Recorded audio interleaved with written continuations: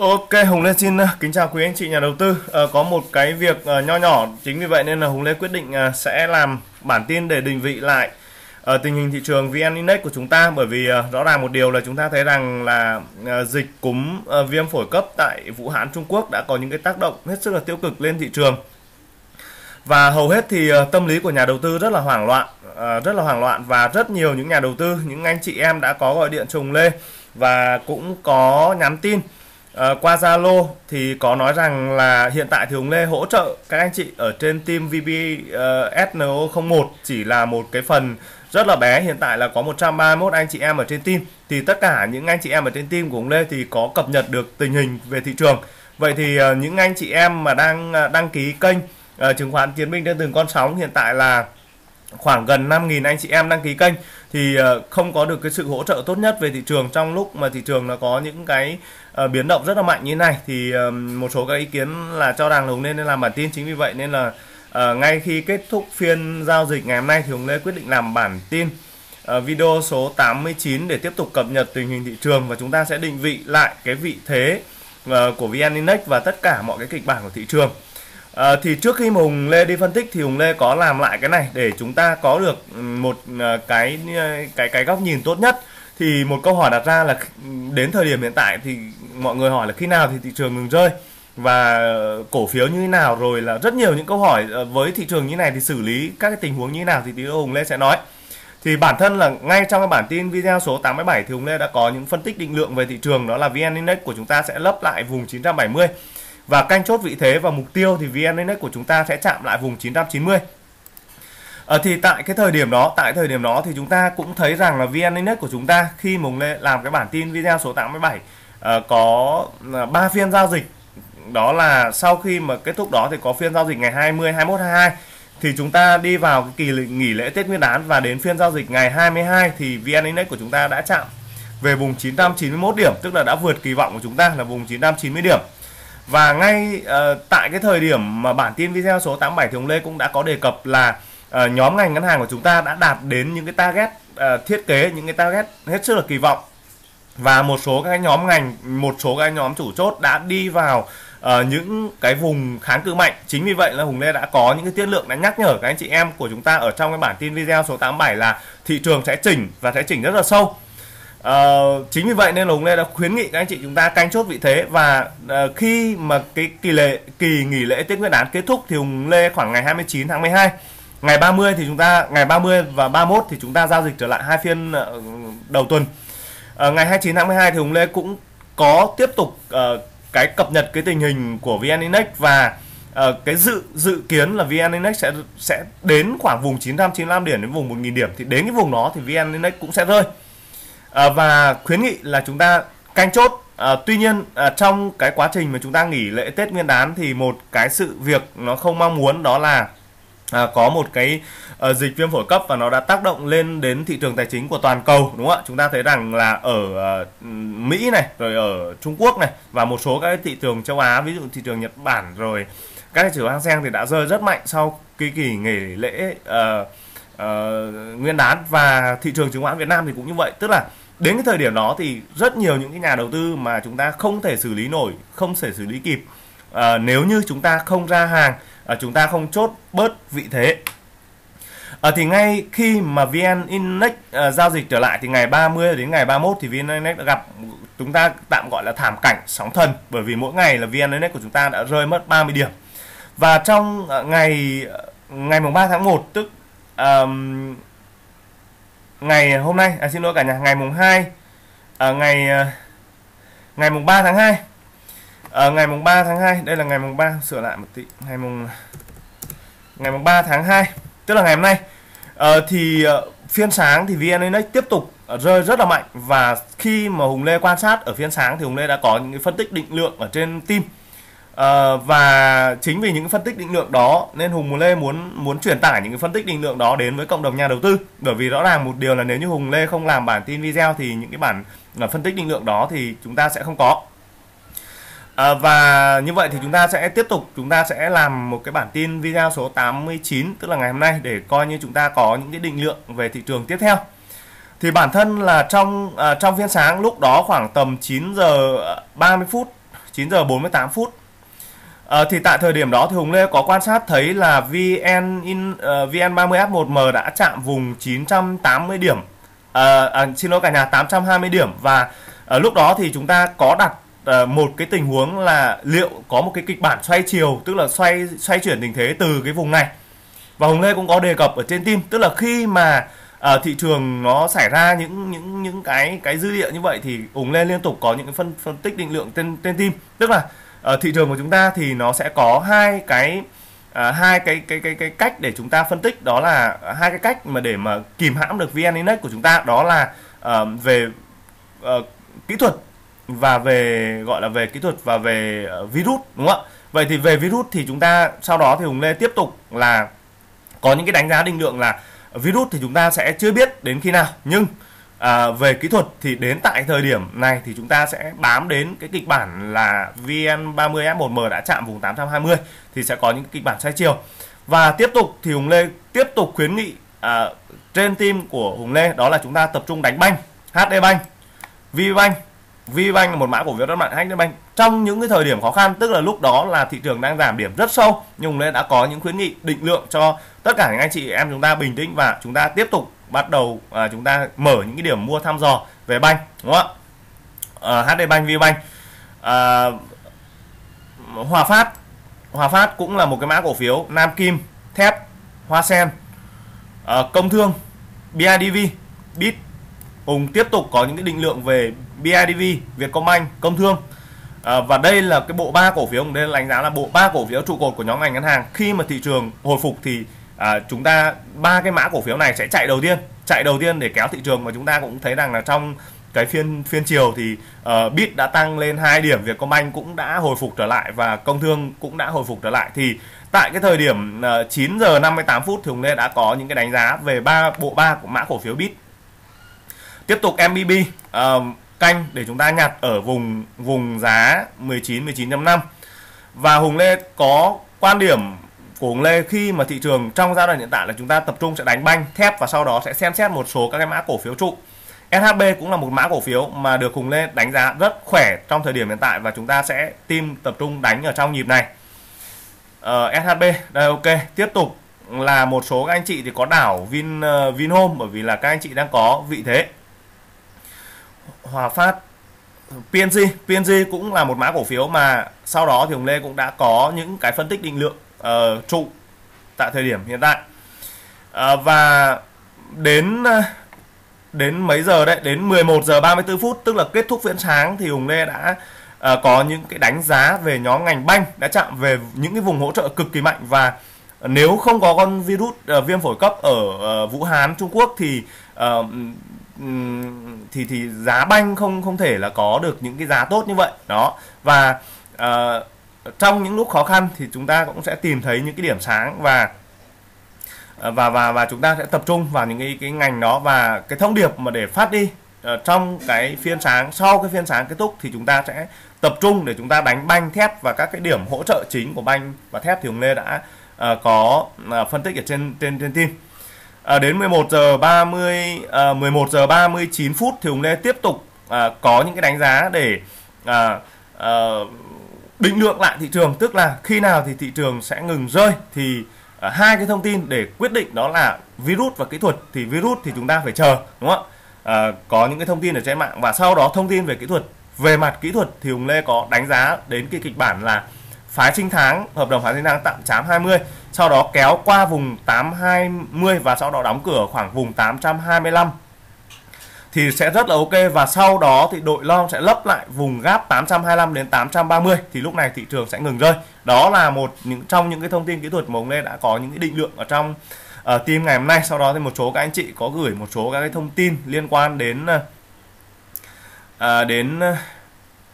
đến virus đúng không ạ? Ok về cơ bản là như vậy. Thế thì chính uh, chính vì cái việc mà chúng ta uh, có được những cái phân tích định lượng như vậy nên là hùng lê mới quyết định là sẽ làm bản tin sớm bởi vì lẽ ra thì hùng lê sẽ không làm bản tin này. Hùng lê sẽ tập trung để phân tích và định lượng ở trên tin zalo thôi. À, ok bây giờ chúng ta sẽ tạm thời chúng ta sẽ thoát cái Zalo đi. Bởi vì thời điểm hiện tại thì chúng ta sẽ tập trung để chúng ta à, phân tích thị trường để tránh có những cái ảnh hưởng đến công việc của chúng ta. À, thì về bản thân à, hiện tại thì chúng ta sẽ view qua thôi, view nhanh, view nhanh một số các cái uh, nhóm ngành để chúng ta xem hiện tại uh, những cái phân tích định lượng của chúng ta uh, đang nằm ở đâu. Đúng không ạ? Đang nằm ở đâu thì trong phiên ngày hôm nay thì chúng ta thử xem nào, sang hai sang hai cũng có sự hồi phục nhẹ. Hang sen có hồi phục Nikkei 25. Nikkei 25 thì cũng chưa chưa có giảm nhiều. À, chúng ta sẽ đi phân tích một số các cái mã cổ phiếu cơ bản để chúng ta xem lại xem là định vị lại À, đối với VIX thì bản thân từ lâu lắm rồi thì chúng ta cũng đang có kỳ vọng rằng VIX sẽ đi ngang ở trong cái biên này thôi. Bản thân thì VIX uh, ờ, đi ngang trong biên 114 đến vùng 116 đều ngộ xu thế thị trường. Đối với VIX thì không có gì thay đổi và chúng ta kỳ vọng là VIX không bị phá vỡ kỹ thuật bởi vì VIX phá vỡ kỹ thuật thì nó cũng rất là ấy, rất là mệt. Ở VRE ngày hôm nay đã có phiên chạm hỗ trợ vùng 28. Bản thân thì chúng ta cũng thấy rằng là từ thời điểm năm đầu năm 2019 thì duy nhất chỉ có một lần là Vincom thì theo đã chạm về vùng 26 và trong cái nhịp này thì do những cái nhịp rơi gãy kỹ thuật ở đây đó thì ngày hôm nay thì chạm vùng 28 và cũng đã có phiên một cái phiên kéo mạnh rất mạnh lên về vùng 30 à, ờ, tuy nhiên sau một phiên kéo mạnh như này thì các anh chị cũng chúng ta cũng sẽ lưu ý là với quan điểm của ông Lê thì uh, VRE sẽ lấp lại vùng này tức là khoảng vùng 29 à, ờ, thị trường của chúng ta sẽ chưa thể hồi phục mạnh được đâu. Chúng ta sẽ cần thêm uh, 1 đến 3 phiên nữa để đánh giá lại cái nội tại thị trường ở trong giai đoạn hiện tại. Thì tí nữa ông Lê sẽ có những cái phân tích định lượng sau. Uh, Vinhome VHM bản thân Vinhome là một cái mã cổ phiếu. Khi mà Vinhome đã đã đã đánh chạm về đây tức là chạm về vùng hỗ trợ 82 đến vùng 84 và cái biên của Vinhome ở đây là biên ở đây là biên bao nhiêu? Biên 82.5 thì Hùng Lê đã có những cái phân tích định lượng và Hùng Lê đánh giá rằng Vinhome sẽ có một cái nhịp hồi phục. Và nhịp hồi phục mắc này thì nó sẽ chạm về độ khoảng gần vùng 89 đến vùng 90 à, 89 đến vùng 90 đây và sau khi chạm về đây thì Vinhome đã, sẽ gặp kháng cự. Về đây gặp kháng cự thì về bản thân nếu như không có dịch virus thì Vinhome cũng sẽ chỉnh. Và đến thời điểm hiện tại thì Vinhome cũng là sẽ là một trụ rất là mạnh ở đây các anh chị nhé. Ở chỉnh về đây thì ngày hôm nay Vinhome tiếp tục một lần nữa test lại vùng nền tức là test lại vùng không gãy ở vùng 82 một số các anh chị đã hốt được vùng 82 rất đẹp và đảo T0 à, đó thì về bản thân đối với mã Vinhome thì cái quan điểm của ông Lê là chúng ta sẽ ờ, với những cái tín hiệu kỹ thuật hiện tại thì uh, Vinhome sẽ đánh uh, sẽ đánh chạm lại lại lại quay lại cái vùng này tức là vùng 90 và uh, đối với những cái tài khoản mà đã mua Vinhome theo những cái khuyến nghị của ông Lê thì chúng ta sẽ tiếp tục nắm giữ và chúng ta sẽ canh để chúng ta chốt lại ở những vùng 90 đối với Vinhome thì vẫn vẫn đang hết sức là ok. Uh, Vinamilk thì gần như là Vinamilk đã bị gãy gãy cái nền hỗ trợ ở đây tức là cây nến này là cây nến bị phá kỹ thuật. Thì những cái cây nến phá kỹ thuật này thì người ta gọi là những cây nến bất thường và thậm chí nó phá luôn cái vùng hỗ trợ 110 và trong phiên ngày hôm nay thì Vinamilk cũng đã có một cái lực hồi ừ, cầu bắt lại à, tuy nhiên à, với một cái cách mà đi lệnh như này thì Vin ở Vinamilk chúng ta sẽ phải à, có thêm thời gian ở 105 ở những cái vùng hỗ trợ nó ở thấp ở dưới này. Còn bản thân thì sau những cái nhịp rơi mạnh như này thì chúng ta cũng tránh đua theo những cái phiên lệnh giá xanh. Đó và chúng ta sẽ cần uh, những cái thời gian để định vị lại Vinhome uh, Vinamilk ở quanh vùng này. Uh, SAB SAB thì cũng bị rơi mạnh cũng bị rơi mạnh. Và trong phiên ngày hôm nay thì cũng đã chạm về vùng hỗ trợ tức là đã chạm về vùng hỗ trợ 200 vùng 200 là cái vùng hỗ trợ rất là mạnh. À, bản thân nếu như không có dịch cúm thì khả năng là SAB cũng sẽ không đạp đạp về đây đâu. Nhưng mà phiên ngày hôm nay thì đã uh, nhún về vùng 200 và sau đó thì lấy lại ở vùng 208 tức là ở một hai phiên tới thì SAB cũng sẽ uh, giao dịch lình xình ở quanh ở đây. Tức là quanh khoảng vùng 2 200 một tí à, tiếp theo chúng ta sẽ xem ờ, à, VDC BVH À, ờ, bản thân VDC thì nó đã bị gãy nó gãy cái, cái điểm kỹ thuật ở đây các anh chị. Tức là khi Hùng Lê có phân tích ở vùng 142 À, về quan điểm về góc độ kỹ thuật vùng 142 là cái vùng à, để đánh giá rằng cái xu thế của VDC có khả năng đi được đến những cái vùng cao hơn hay không. Thì bản thân khi gãy ở vùng 142 thì chúng ta bắt buộc chúng ta phải bán ở trong phiên này. Bởi vì đấy là cái tín hiệu kỹ thuật kể cả là không có dịch cúm virus thì chúng ta bắt buộc chúng ta phải bán phiên này bởi vì như vậy là nó đã phá chen kỹ thuật rồi. À, đến thời điểm hiện tại thì VDC cũng đã rơi và rơi về vùng 120 thì Hùng Lê tiếp tục đánh giá đây là một cái vùng hỗ trợ mạnh của hỗ trợ mạnh của VDC ở vùng 120 đến vùng 121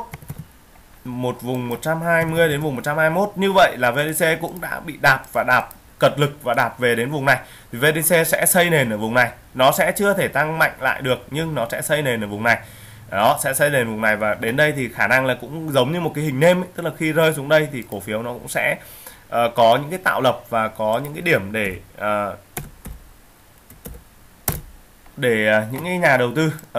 họ sẽ bắt lại ở những cái vùng đó bản thân BVH cũng như vậy BVH thì cũng đã bị đạp và hiện tại thì cũng đã đạp đến về vùng 50 đến vùng giá ở đây vùng giá 50 đến vùng 54 khả năng thì BVH khi chạm lại biên này thì cổ phiếu này cũng sẽ ngừng rơi và sẽ bắt đầu xuất hiện những cái lực cầu lớn ở đây đúng không ạ? Sẽ bắt đầu xuất hiện những cái lực cầu lớn ở đây. Uh, Mansan MSN Mansan thì khả năng là sẽ hơi xấu. À, đối với Mansan thì trong những cái phân tích định lượng gần đây của ông Lê đó là Mansan đã có một cái vùng hỗ trợ 55 đến 55.5 bản thân khi Mansan bị gãy ở biên dưới không chúng ta không quan tâm đến dịch ở cúm thì bản thân khi nó bị gãy ở biên dưới thì nó sẽ đạp lại về vùng 50 nó sẽ đạp lại về vùng 50 và hiện tại thì uh, cây nến này thì cây nến nó cũng đã kéo lại về vùng 50 thì chúng ta sẽ uh, quan sát thêm Mansan ở vùng 50 thì về cơ bản ở trong cái thời điểm hiện tại ở cái cái điểm 50 này cũng là một cái điểm hỗ trợ uh, khá là mạnh của Mansan trong cái thời điểm hiện tại rồi. Đó thì ở đây nếu như nó hình thành được cái mô hình à, hai đáy ở đây thì tốt. Và nếu để hình thành được mô hình hai đáy thì một hai phiên tới Masan phải có những cái phiên rút chân lên ở trên cái vùng giá 50 MVKG MVKG à, ờ, bản thân MVKG bản thân MVKG trong những cái nhịp phân tích ở đây thì chúng ta đều phân tích đến một cái ngưỡng target của MVKG vùng kháng cự mạnh ở vùng 120 và kịch bản nếu như trong cái nhịp test ở gần test lại đây tức là test lại vùng 113 không bị gãy thì chúng ta sẽ có thể có một cái cơ hội đánh về chạm về vùng 125 tức là vùng kháng cự mạnh đây. À, tuy nhiên với ờ, những cái diễn biến ờ, không thực sự tích cực của thị trường chung thì MVKG đã đã bị đạp. Và một cái phiên ngày hôm nay là một phiên khá là đẹp của MVKG đó là gì? Khi mà MVKG chạy không bị gãy các anh chị kết phiên không bị gãy vùng 105 đã tạo thành một cây nến rút chân lên ở đây uh, khi cái kịch bản này xảy ra khi kịch bản xảy, xảy ra thì cái vùng hỗ trợ ở dưới đây vùng 95 thì khả năng nó sẽ chưa về được về về đến nơi được. Ở uh, hôm nay có một lượng lớn một lượng lớn lực cầu bắt lại um, bắt lại MWG ở đây. À, với một cái lượng cầu bắt lớn lại như thế này thì MWG nó sẽ có những cái xu thế nó sẽ test lại lình xình ở đây này nó sẽ có một vài phiên lình xình ở đây. Ở quanh vùng 106 106 đến khoảng vùng 1 108 ở vùng 106 đến vùng 108 nó sẽ chưa hồi phục được ngay đâu. Nó sẽ cần 1 đến 3 phiên để nó kiểm tra lại sức sức khỏe ở tại vùng này và chúng ta sẽ quan sát thêm. Ở cái bản tin này là Hùng Lê view để chúng ta định lượng được là các cái vị trí của các cái mã cổ phiếu, tức là nó có giảm được không chứ không khuyến nghị mua. Ở những điểm khuyến nghị mua thì Hùng Lê sẽ có những khuyến nghị ở trên room và phải khi nào những mã cổ phiếu nó tạo nền khá là đẹp thì Hùng Lê mới khuyến nghị các anh chị mua. Và cái bản tin này nó mang tính chất định lượng là chính định lượng về vị trí của thị trường là chính. À, Bình Minh cũng đã có một nhịp rơi mạnh. Khi bị gãy mất cái nền hỗ trợ 44 ở đây thì Bình Minh đã rơi về đây cũng như là cái vùng hỗ trợ này là vùng 40 cũng đã đạp về đến vùng 40 coi như là cái cũng là cái vùng hỗ trợ dài của cổ phiếu ở trong cái thời điểm hiện tại. Vùng hỗ trợ dài của cổ phiếu trong thời điểm hiện tại. Ở phiên hôm nay thì cũng đã có một cái lực cầu bắt à, khá là tốt và đóng cửa vùng 41.8 như vậy thì với một cái kịch bản như thế này thì có thể Bình Minh cũng sẽ lình xình lại ở quanh cái nền từ 40 đến 41 một tí. Và sau đó thì khi thị trường chung hồi phục thì nó sẽ có những cái tín hiệu uh, kỹ thuật tiếp theo. Bình Minh cũng là một cái mã cổ phiếu blue chip. Nó uh, cơ bản tốt nhưng mà ờ, cái cái cái tăng trưởng về cái tốc độ tăng trưởng về doanh thu lợi nhuận thì trong cái thời điểm hiện tại thì nó nó không được nhiều. Uh, G bản thân G thì trong um, G thì khi mà không có dịch cúm viêm phổi cấp thì Hùng Lê đã có phân tích những cái phân tích định lượng về những cái vùng kháng cự ở vùng 37 đây này đó và khi đó thì hùng có hùng có tìm đến một cái vùng ở đây. Các anh chị xem lại những bản tin khác đó là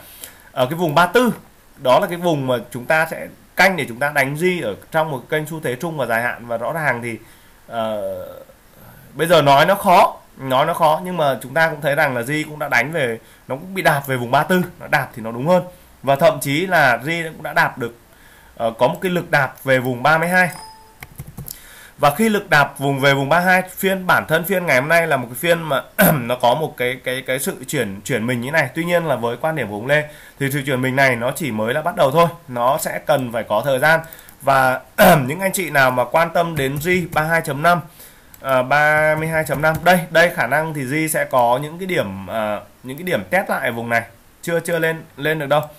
ở vùng 32.5 và nó sẽ đi ngang ở quanh vùng này. Trước khi mà hình thành nên một cái nhịp mà tăng trưởng của G ở bên này thì chúng ta sẽ có những cái thời gian để chúng ta phân tích định lượng tiếp theo. Tức là nếu mà chúng ta loại bỏ đi những cái yếu tố bất thường thì những cái phân tích kỹ thuật của chúng ta nó cũng khá là sát. Ờ, uh, FPT về cơ bản FPT thì Hùng Lê đã có những cái cảnh báo cho các anh chị uh, ở trên room và trong các cái bản tin phân tích thì Hùng Lê cũng đã có phân tích ở những cái ngưỡng khá là khó của FPT ở vùng 58 đến vùng 59 và với những cái quan điểm hiện tại thì Hùng Lê cũng khuyến nghị là các cái tài khoản uh, trong team Hùng Lê là ra dần FPT bởi vì là uh, bản thân không có dịch cúm thì FPT nó cũng giảm thôi chứ không có tất nhiên là nó giảm nhưng mà nó không giảm sốc nó giảm từ từ. Thì bản thân trong uh, trong nhịp đánh này thì FPT cũng đã có một lực kéo lên ở đây. Phiên ngày hôm nay là một phiên kéo lên. À, tuy nhiên ở trong nhịp này trong nhịp này khi FPT đã bị gãy ở đây tức là gãy cái nền khoảng nền 53.5 thì nó sẽ cần có thời gian và à, với FPT thì nhịp này sẽ đánh chạm lại về ở cái vùng đây tức là vùng 47 đến vùng 48 tích lũy ở vùng này khoảng một tuần tích lũy ở vùng này khoảng một tuần. Và sau đó thì chúng ta sẽ có những cái phân tích định lượng xem là à, có mua được hay không hay là tiếp tục là cổ phiếu này sẽ bị phá chen. Thì lúc đó thì chúng ta sẽ có những phân tích định lượng tiếp theo. Tuy nhiên khi FPT rơi về vùng 48 đến vùng 49 đây cũng là một cái vùng uh, hỗ trợ uh, rất là mạnh rất là mạnh của FPT ở trong cái thời điểm hiện tại.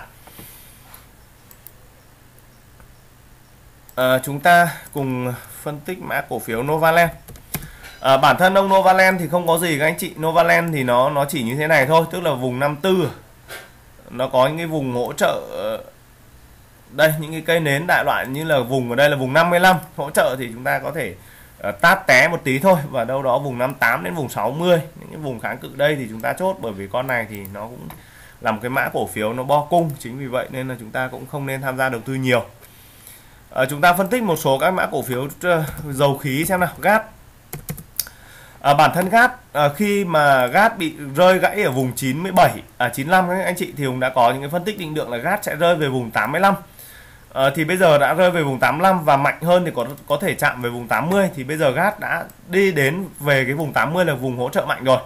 như vậy thì với kịch bản hiện tại thì gas cũng sẽ chưa tăng mạnh được ngay. Hôm nay có một cây nến rút chân. Tuy nhiên những cái nhịp rút chân này thì chúng ta cũng sẽ cần thời gian. Và gas sẽ có những cái định lượng ở quanh khoảng vùng 82 uh, ờ, cho đến vùng 80 uh, ờ, sẽ có gas sẽ có những cái định lượng ở quanh đây và gas sẽ có thể sẽ đi ngang ở quanh cái vùng này. Uh, thêm một thời gian nữa để ổn định lại uh, sức khỏe tích lũy lại. Và nếu như cái kịch bản mà gát gãy vùng 80 thì như thế là nó không còn cái gì để chúng ta nói đến gát tức là như vậy thì gát sẽ giảm rất là mạnh và giảm rất là sâu. Đó thì chúng ta thấy rằng là khi cổ phiếu phá trang kỹ thuật thì chúng ta cũng sẽ nên hành động và chúng ta cũng không nên ôm theo bởi vì như thế nó cũng khá khá khá là khó. À, chúng ta cùng ờ, phân tích mã cổ phiếu PLX bản thân PLX trong giai đoạn hiện tại ở đây đang là hình thành những cái nhịp uh, nhịp hồi ở những cái nhịp hồi phục và những cái nhịp hồi phục này thì chạm lên chạm xuống và rõ ràng là khi chạm xuống thì nó phải không phải gãy thì chúng ta mới có được những cái nhịp ở phân tích tiếp theo. Và PLX thì nó cũng không nằm ngoài cái cái cái cái sóng chung của thị trường đó là PLX đã bị gãy vùng 55 và khi gãy vùng 55 thì đó PLX nó sẽ cũng sẽ rơi. À, với những cái kịch động thái hiện tại của PLX thì PLX cũng chạm về vùng. Nếu mà chúng ta xét ở trong một cái yếu tố uh, nó từ năm 2018 đúng không ạ? Đến bây giờ cũng hai năm tức là Pele có một cái vùng ở đây là vùng 50 À, ờ, như vậy sau những cái cơn bão của thị trường thì gần như tất cả những cái mã cổ phiếu của chúng ta đã đi về ở những cái vùng giá những cái vùng hỗ trợ rất là tích cực luôn. À, thì với những cái động thái hiện tại thì PLX sẽ đi ngang sẽ cần thêm thời gian anh chị. Nó cũng giống như gas thôi. À, vùng 51 đến vùng 50 nó sẽ cần thêm thời gian ạ. Nó sẽ định vị mà nó tích lũy thêm vùng này. Các điểm mua hiện tại chúng ta không khuyến nghị. Ờ, uh, PVS chúng ta phân tích để chúng ta định lượng. Ở một số các tài khoản thì có hỏi Hùng lên là PVS bây giờ hiện tại xử lý như thế nào? Thì đối với kịch bản là PVS sau khi tức là ở đây Hùng Lê có phân tích ở cái điểm này. Ở vùng uh, vùng hỗ trợ của PVS là vùng 17.7 đến vùng 18 tuy nhiên vùng 17.7 đã bị phá. Thì khi mà bị phá những cái vùng hỗ trợ trên thì cổ phiếu nó sẽ uh, rơi về lại những cái vùng vùng thấp hơn. Đây là bây giờ hiện tại là vùng 15.6 À, ờ, bản thân khi rơi về vùng 15.6 thì nó đã phải một cái kênh uh, hỗ trợ chung và dài hạn của PVS hay chưa? Thì đến cái vùng này thì cũng đánh giá rằng là nó cũng đã làm một cái vùng hỗ trợ khá là dài. Tức là vùng 10 uh, 15 vùng 15 đến vùng 15.5 à, bản thân thì nó cổ phiếu nó sẽ cũng sẽ chưa thể tăng mạnh lại được và nó cũng sẽ cần uh, xu thế phục hồi chung của thị trường. À, nhưng về cơ bản khi PVS rơi về đây có nghĩa là cổ phiếu đã ngừng đạt rơi thì chúng ta sẽ tạm thời chúng ta sẽ nắm và chúng ta sẽ chờ đến khi nào mà uh, chúng ta có thể uh, nếu chúng ta bán thì chúng ta sẽ bán ở những cái thời điểm mà chúng ta bớt lỗ đi. Đó chúng ta sẽ bớt lỗ đi.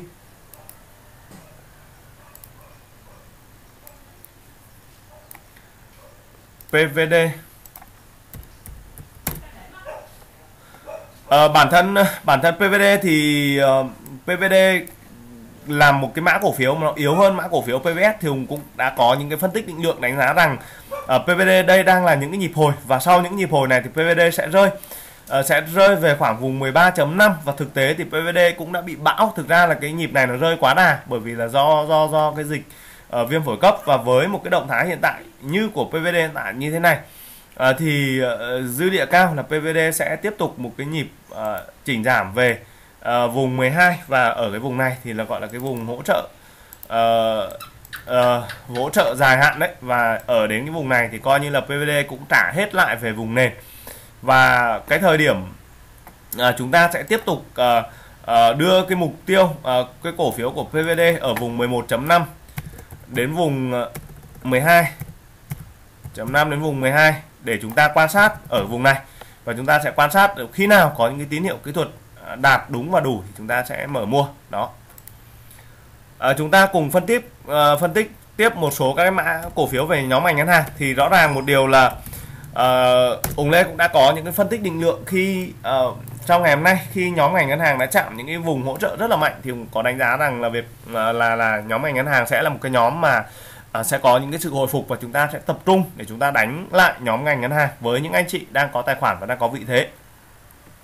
À, bản thân ngày hôm nay Vietcombank đã giảm và đã uh, có những uh, thời điểm là chạm về vùng 83 tức là biên trên là vùng 82 đến vùng 80 trong một cái nhịp chỉnh giảm ở trước đây. Thì Hùng Lê đã có dò tìm ờ, những cái vùng vùng giá mục tiêu ở đây đúng không ạ? Các chị xem lại những cái bản tin cũ cũ một tí nó hơi xa xa một tí à, hôm nay thì Vietcombank cũng đã có những cái điểm chỉnh giảm về đây và một cái điều ờ, rất là ok đối với Vietcombank đó là Vietcombank đã lấy lại được mốc 85 ở ờ, trong một cái nhịp uh, phân tích gãy ở đây này đó là cái nhịp 85 à, 85 là một cái vùng uh, hỗ trợ trong nhịp này thì Vietcombank đã lấy lại ở cái vùng 85 và với cái xu thế hiện tại thì uh, lực cầu như hiện tại thì Vietcombank đã lấp lại được một cái phần gap ở đây rất là đẹp và mục tiêu mục tiêu thì bây giờ trong kịch bản là khi Vietcombank đã đánh chạm vùng 895 đó là cái target của ông Lê phân tích. Thì ông Lê có đánh giá rằng là Vietcombank sẽ có những cái phiên mà lấp lại ở vùng 92.5 tuy nhiên là với những cái tác động tiêu cực của thị trường thì Vietcombank đã giảm qua vùng này. Đã giảm qua vùng này và hiện tại với kết cục hiện tại như thị trường thì ông Lê tiếp tục đánh giá rằng Vietcombank đầu tiên là Vietcombank sẽ lấy lại uh, lấy lại ở vùng 95 Ờ, lấy lại ở vùng 95 và trong trong những cái điểm test ở trước mắt thì có thể Vietcombank sẽ có những cái điểm test lại ở quanh vùng 87.5 ở đây. Ở quanh những cái vùng 87.5 ở đây. Một hai phiên hình trình ở đây. Và sau đó thì Vietcombank sẽ kéo lên. Và với quan điểm hiện tại thì Vietcombank vẫn là một trong những cái mã cổ phiếu của ngành banh sẽ giúp ổn định về mặt uh, thị trường và uh, vĩ mô. Uh, Bit cũng là một mã cổ phiếu thứ hai liên quan uh, Hùng Lê đã có những phân tích định lượng sáng nay. Ờ, thì bản thân là trong những nhịp phân tích trước đây Bit đã chạm đến vùng ờ, giá 55 và sau khi chạm về cái target 55 thì Hùng Lê có có những phân tích uh, có những cái nhịp chỉnh giảm của Bit ở đây có thể đánh chạm lại ở vùng 52 đến vùng 53 Tuy nhiên cũng với một cái lực đánh mạnh của thị trường đó thì Bit cũng đã uh, có những cái điểm rơi và cái điểm rơi này thì nó nó đã không gãy ở khoảng vùng 48.5 48.5 chính là cái vùng mà Ủng Lê đã có phân tích định lượng ở trong cái nhịp rơi trước này để phân tích ở cái nhịp target 55 này. Thì với kịch bản của bit như hiện tại bit đã lấp gần như lấp được một hai lấp được gần hết cái cái phần phần thân nến xanh và cái lực cầu hôm nay của bit cũng tương đối là mạnh. Thì với kịch bản hiện tại của bit thì khả năng bit ngày mai bit sẽ trả lại ở quanh vùng giá 52 một tí. Uh, bit sẽ trả lại ở quanh vùng 52 một tí và sẽ công lại sẽ công lại ở vùng giá 55 công lại ở vùng giá 55 sau khi công lại thành công ở vùng 55 rồi thì Hùng sẽ có những cái phân tích định lượng tiếp theo bởi vì bây giờ dữ liệu là chúng ta cần phải cập nhật hàng ngày và ngại bởi vì thị trường bây giờ nó đang hết sức là mong manh. Chính vì vậy nên là chúng ta cũng sẽ chưa thể xây dựng những cái target dài. Và khi uh, khi mà bit đánh thủng được vùng 55 thì về cơ bản đối với quan điểm hiện tại của Hùng Lê thì khả năng cái target mùng lê đề ra đấy là bit ở vùng giá 60 thì vẫn có thể hoàn thành ở trong cái nhịp này. Tuy nhiên uh, chúng ta sẽ cần thêm phiên ngày mai và phiên ngày kia nữa để chúng ta xem là bit khoan lại vùng 55 như thế nào. Thêm một mã cổ phiếu thứ ba nữa là công thương. Thì bản thân công thương hùng cũng có đánh giá rằng đây sẽ là một mã cổ phiếu mà sẽ ờ, uh, lít dòng ngân hàng và sẽ là một trong những cái mã cổ phiếu mà sẽ đi song trùng với lại uh, Vietcombank đi song trùng với lại BID uh, nhắc đến cái việc là cổ phiếu lít lít dòng thì uh, từ những cái thời điểm mà chúng ta thấy rằng là bit đang ở những cái vùng giá rất thấp thì hùng lê đã có những cái ba ba mấy các anh chị? Khoảng ba ba mấy đó ba năm anh chị xem lại thì hùng đã có những phân tích định lượng. Về bit sẽ là một mã cổ phiếu lead dòng ngân hàng. Thì đến thời điểm hiện tại là uh, nó đã trở thành hiện thực. Và đến bây giờ đến thời điểm hiện tại thì hùng tiếp tục có đánh giá uh, đánh giá công thương. Uh, công thương ở trong uh, những cái vùng uh, phân tích ở đây trong những cái vùng định lượng dài ở đây đó là vùng sóng dài ở vùng 19.5 đến vùng 20 bản thân khi công thương uh, phân tích uh, chỉnh giảm những cái nhịp chỉnh giảm ở đây này tức là từ vùng 22 vùng phân tích về vùng 24 và vùng 24 thì nó đã kéo qua kỳ vọng. À, vùng 24 thì có thể uh, có những cái bẻ kịch bản uh, kéo về vùng 26 xong đó thì uh, chỉnh giảm về uh, test về khoảng vùng 24.5 uh, và sẽ có một cái nhịp kéo về vùng 27 bản thân nếu như không có dịch cúm uh, chắc chắn rằng nếu không có dịch cúm thì khả năng cái kịch bản của chúng ta sẽ là một kịch bản rất hoàn hảo. Nó sẽ về đến vùng 24.5 nó không thể gãy được đâu bởi vì công thương là một mã cổ phiếu trong thời điểm hiện tại cũng đánh giá rất là ok rất là mạnh. Và những cái nhịp uh, test sâu hơn thì có thể test về vùng 24 và trong phiên ngày hôm nay thì công thương gần như đã hoàn thành một cái nhịp test ở đây. Uh, rất là đẹp. Và với một kịch bản hiện tại như thế này thì uh, công thương nó cũng sẽ sẽ trả lại. Các anh chị nhé sẽ trả lại ở vùng 24.5 chính là trả lại vùng này. Nó sẽ trả lại ở vùng này một đến khả năng là sẽ trả lại vùng này một đến hai phiên nữa. Và sau đó thì công thương sẽ uh, sẽ tiếp tục À, một cái nhịp hành trình mới và uh, những cái target tiếp theo của công thương ở vùng 20 uh, 26 27 chúng ta vẫn đang giữ nguyên. Hiện tại đến thời điểm hiện tại với những cái tín hiệu kỹ thuật như hiện tại là chúng ta sẽ giữ nguyên và công thương cũng sẽ là một mã cổ phiếu rất là mạnh. À, uh, ACB ACB thì uh, trong cái giai đoạn hiện tại uh, có một cái nhịp phân tích đây Hùng Lê khuyến nghị mua và khuyến nghị uh, chốt ở vùng 24.5 đạt target thì chúng ta ra hàng và và và và ra xong thì ờ, uh, ACB lại giảm rồi. À, giảm rồi khi khi giảm rồi thì nó lại chạm lại về cái vùng hỗ trợ dài ở đây vùng 22 vùng 21.5 đến vùng 22 thì về cơ bản là khi chạm về đây thì chúng ta lại có thể túc tắc chúng ta canh uh, để chúng ta mua được. Và đúng một cái thực tế là ngày hôm nay thì những anh chị nào mà chúng ta uh, theo dõi các bản tin của ông Lê thì khi mà chạm về đây thì chúng ta cũng có thể bắt lại uh, ACB ở vùng 22 và có thể chắc chắn bắt ở vùng 22 thì T cộng 3 hàng về thì yên tâm là không không bị lỗ. À, lãi một tí thôi tí ti nhưng mà không bị lỗ. À, với những cái lực đánh này của ACB thì à, chúng ta lại tiếp tục kỳ vọng một cái nhịp mà ACB đánh lại vùng 24 lực cầu hôm nay của ACB cũng khá là tốt khá là tốt. À, những cái điểm mua thì à, phải bắt ở những cái vùng 22 này này. Đấy khi chạm đây những cái cây nến chạm về cái biên trên này thì chúng ta mua thôi. Chứ còn bây giờ nó về vùng 260 tức là nó bị lỗi nhịp mất một cái điểm uh, điểm điểm đẹp ở đây. MBB à, ờ, với MBB với MBB trong uh, cũng đã có những phân tích định lượng về uh, kịch bản của MBB đánh chạm về vùng 22.5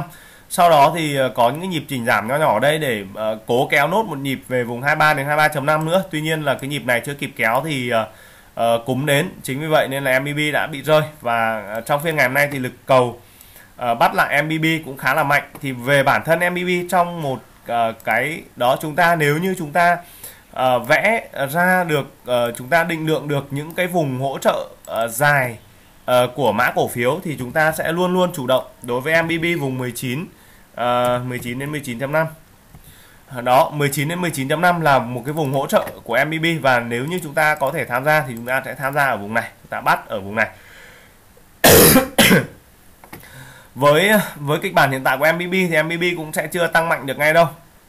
Kịch bản đẹp nhất là MBB sẽ lấp lại ở những cái vùng nho nhỏ ở đây tức là lấp lại ở vùng à,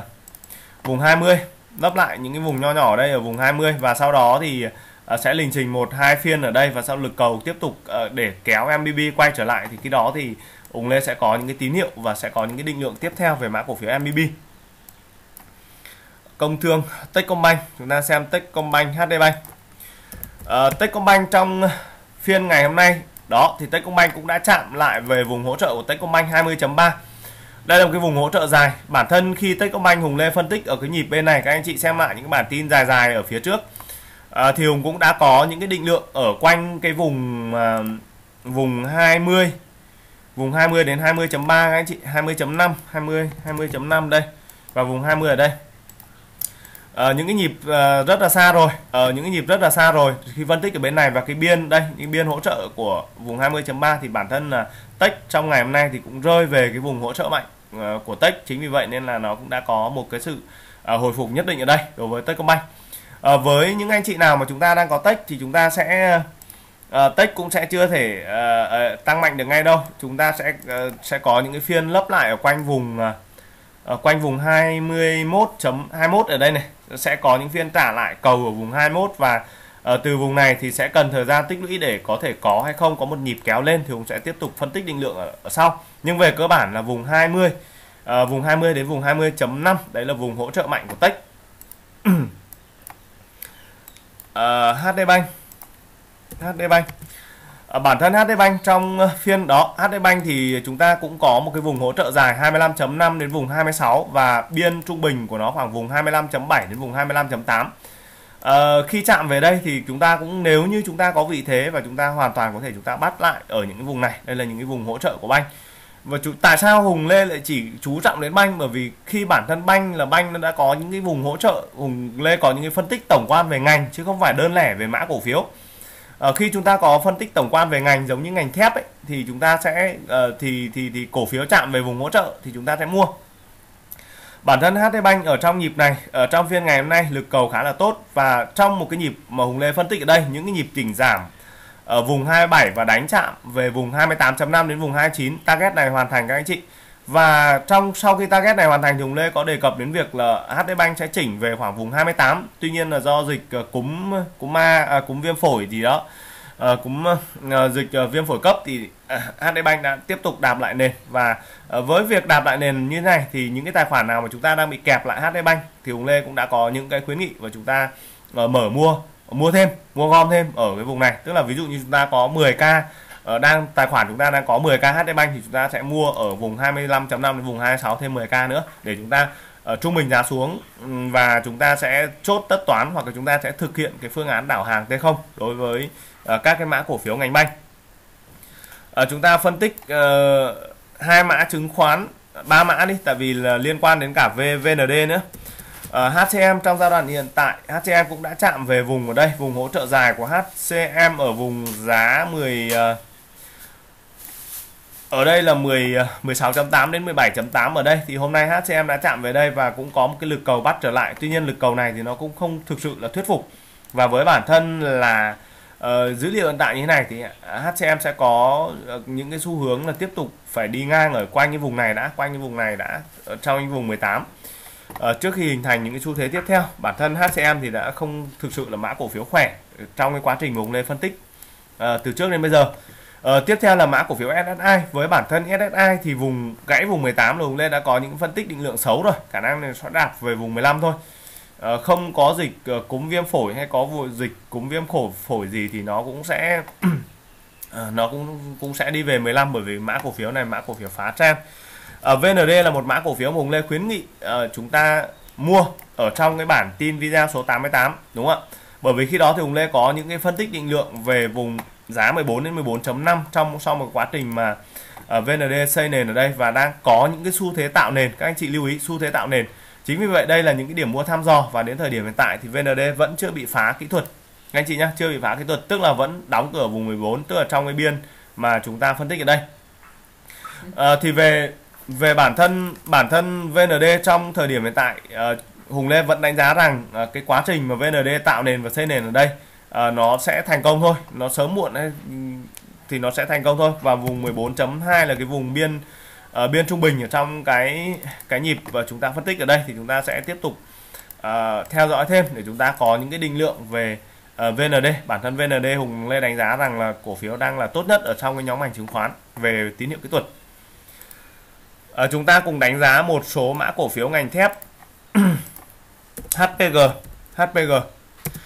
à, bản thân Hòa Phát bản thân Hòa Phát thì trong những nhịp mà chúng ta phân tích ở đây rất là sớm, ở target ở vùng 25.5 đến vùng 26 thì Hùng Lê đã khuyến nghị chúng ta chốt bớt. Và chúng ta chốt bớt một phần và canh ở có thể là sẽ đạp được tiếp lên đến vùng 27 tuy nhiên là dịch ờ, viêm phổi cấp, đúng không ạ? Thì ờ, nó đã chỉnh giảm và ờ, trong những cái nhịp chỉnh giảm ngày hôm nay thì gần như là đã đạp lại về cái vùng nền hỗ trợ đây, rất là đẹp. Trong phiên ngày hôm nay 22.5 đến vùng 23 chính vì vậy nên là Hùng đã có những cái phân tích định lượng và khuyến nghị chúng ta uh, có những cái cái cái cái tham gia ngay bắt ngay. Thì với kịch bản hiện tại của Hòa Phát thì Hòa Phát đã có một phiên hôm nay giao dịch khá là tích cực khi mà khớp lệnh 12 triệu và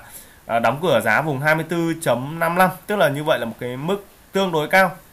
tương đối cao. Thì chúng ta sẽ canh lại Hòa Phát ở trong phiên ngày mai khả năng phiên ngày mai sẽ có ở quanh vùng 24 bản thân khi không có dịch viêm phổi cấp thì Hùng Lê cũng có đánh giá định lượng là khi đạp về vùng 26.5 thì cổ phiếu này sẽ chỉnh lại về vùng ở đây.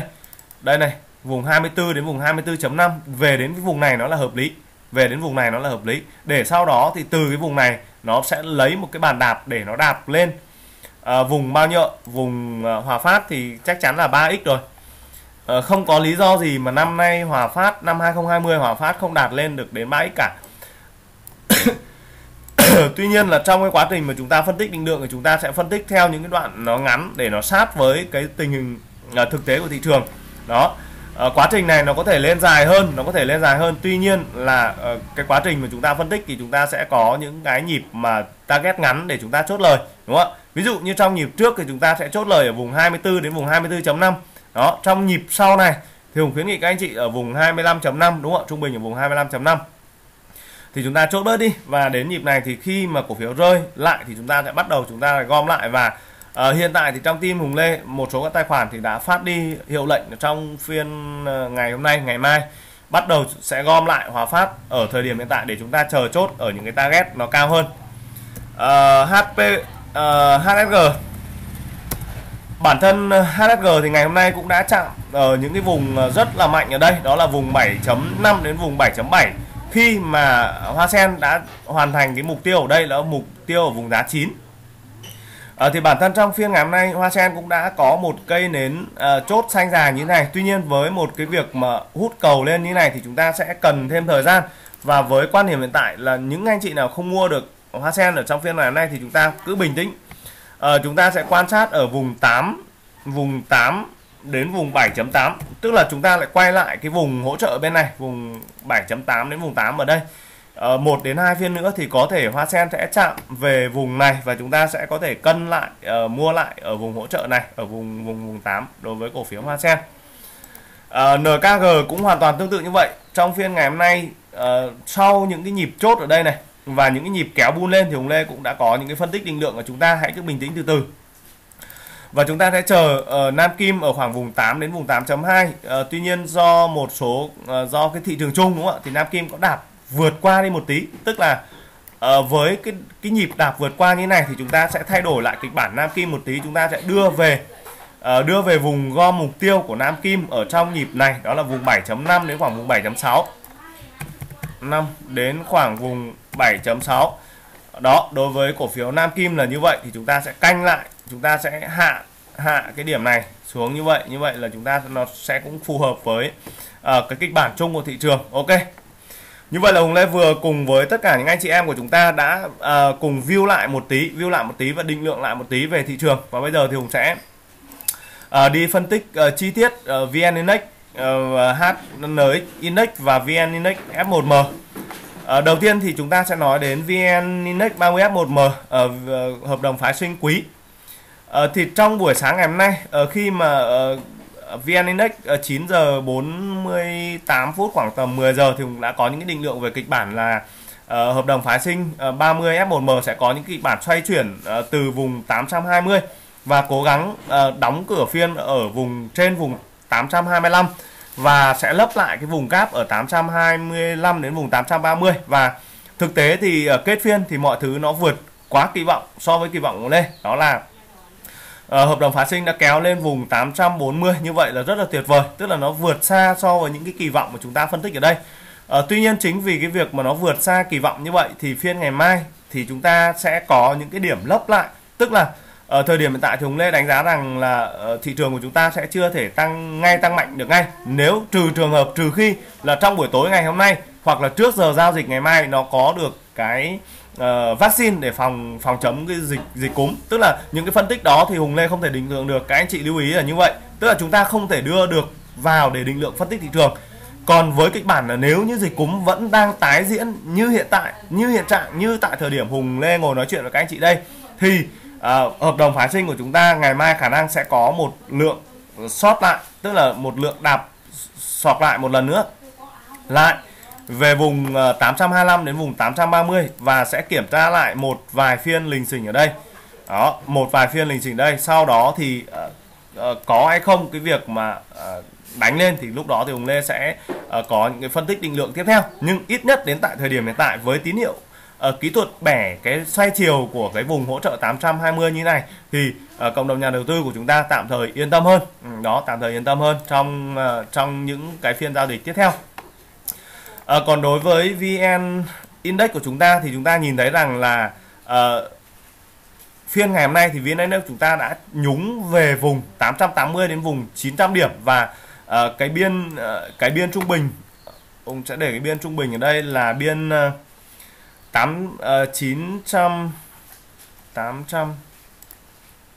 chúng ta sẽ xem cái biên trung bình ở đây uh, biên trung bình ở đây khoảng vùng 890 uh,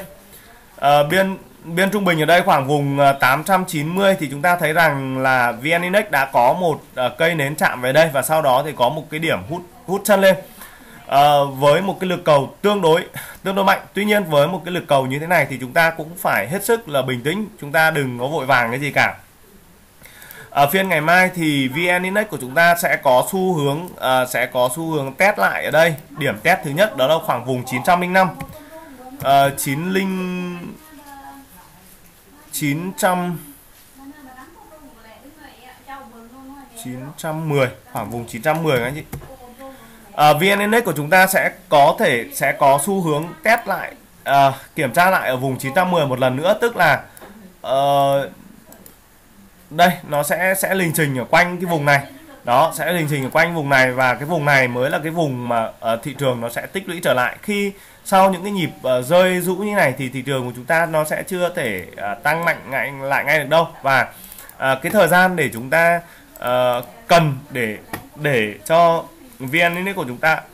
có thời gian hấp thụ lại có thời gian ổn định lại ở vùng này đấy trừ khi là chúng ta có được vaccine sớm còn nếu mà không có thì hiện tại chúng ta đang phân tích theo thuần về kỹ thuật. Chứ chúng ta không phân tích về về về về về về tin tức. Đó thì như vậy là đối với kịch bản VN Index hiện tại. Và uh, bản thân thì trong trong team chúng ta sẽ mở lại Zalo. Trong team của Lê thì chúng ta cũng đã có những những cái khuyến nghị ở trong phiên ngày hôm nay. Thì chúng ta sẽ tập trung để chúng ta đánh lại dòng banh. Uh, dòng banh và bản thân thì uh, hiện tại thì Hùng Lê cũng nhận được uh, khá nhiều những cái tin nhắn. Uh, rất uh, rất nhiều những cái nhà đầu tư hiện tại không thuộc team của Hùng Lê. Tuy nhiên là uh, tuy nhiên là là là uh, do cái biến động về thị trường do cái biến động về thị trường nên tạm thời thì Hùng Lê đang hỗ trợ. Uh, tạm thời thì Hùng Lê đang hỗ trợ trong cái cái giai đoạn này trong cái giai đoạn này. Nó nó cũng hơi nó giống như kiểu là là là là gọi là cái gì nhỉ? Gọi là gọi là sự cố ấy, thì ờ, tạm thời thì Hùng Lê đang ờ, đang đang có những cái hỗ trợ uh, cho những cái tài khoản mà cả không không thuộc team của Hùng Lê. Thì thứ nhất là hỗ trợ trực tiếp. Đây là một cái tài khoản của một chị uh, đang cũng đang đang bị sốc. Đấy bị bị sốc và đấy ví dụ như là công thương chẳng hạn như vậy. Uh, có bán không thì yên tâm là không bán. Đấy thì Hùng Lê đã có những cái tư vấn cực kỳ là chi tiết luôn. Ví dụ PNG đó thì hiện tại là đang có 35.000 thì sẽ mua luôn. Trong phiên ngày hôm nay mua luôn 35k nữa thay vì việc bán đi mà chúng ta sẽ mua luôn. Đó thì rất rất nhiều rất nhiều những cái tài khoản mà hôm nay thì Hùng Lê cũng đã có những cái hỗ trợ để uh, giúp ổn định tâm lý của nhà đầu tư. Trong cái lúc mà thị trường nó hoảng loạn như thế này thì chúng ta cũng sẽ phải hết sức là bình tĩnh trong những cái quá trình mà chúng ta xử lý. Uh, ok như vậy về cơ bản thì Hùng đã có view lại một số cái mã cổ phiếu uh, cho các anh chị và view lại uh, các cái kịch bản về thị trường để chúng ta có được uh,